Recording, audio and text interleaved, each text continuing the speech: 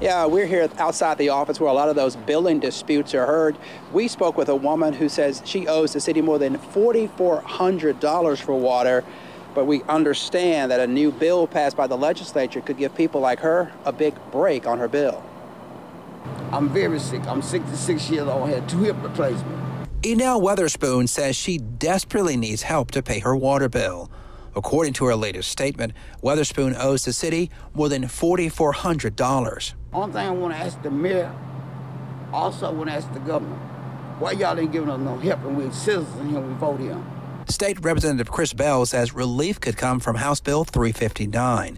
The legislation would empower the city to defer uncollected water and sewer bills. Governor Tate Reeves hasn't yet signed the bill into law. I've been told that he has been for the bill uh, for his legislation. So uh, I'm looking forward to his signature on this bill uh, to give the people of Jackson an opportunity to uh, to have an opportunity to to debate or necessarily not debate, but uh, to get these water bills under control. Under the state constitution, no city is allowed to forgive an unpaid debt. House Bill 359 would allow the city's Water Sewer Business Administration to set up a payment plan for any customer behind on what they owe.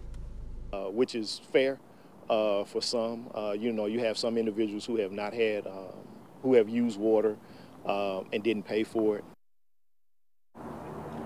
Yeah. And there's some other big changes coming to this office here at Metro Center. We understand that city is reorganizing this water and sewer billing system. The goal is to make sure that those bills go out on time and that they're accurate. Tonight we're live in South Jackson. Ross Adams at 16, WAPT News.